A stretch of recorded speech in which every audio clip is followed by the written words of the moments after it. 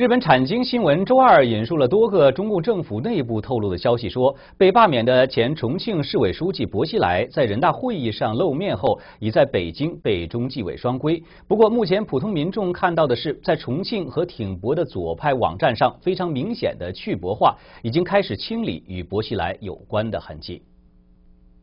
产经新闻的报道标题是：前重庆高层被捕，因妻子受贿等彻底下台。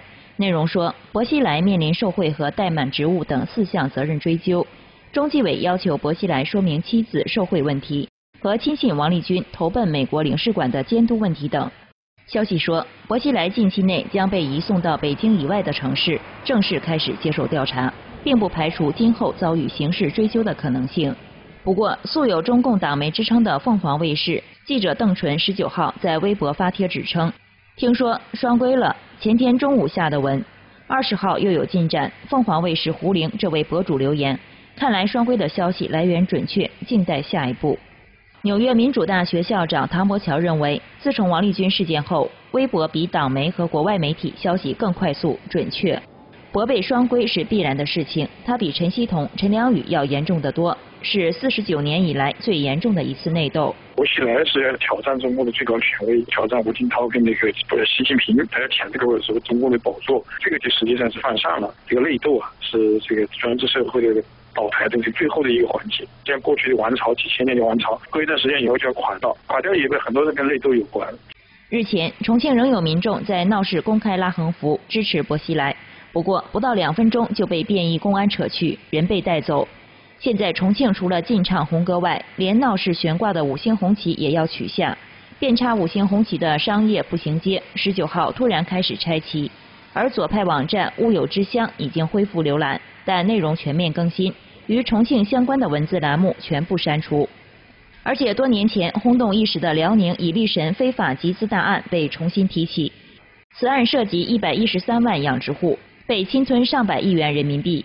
民众指称，薄熙来担任辽宁省长和商务部长期间，与以力神董事长王凤友相交甚密。中共的官员个个都不干净了，你要打倒哪个都可以啊。他在重庆的打黑，现在不是都说他是黑打黑吗？另外，他打黑那实际上他是排除异己，这个打击政敌，甚至抢夺别的利益集团的财产，侵犯人权的行为，这些都可以治罪的。加拿大温哥华地区时事评论员刘其坤表示。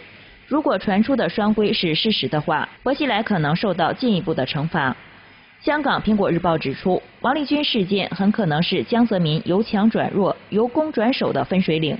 薄是江泽民保荐的，而且如果调查确认江西大将周永康涉案，这样对江泽民的冲击将更大。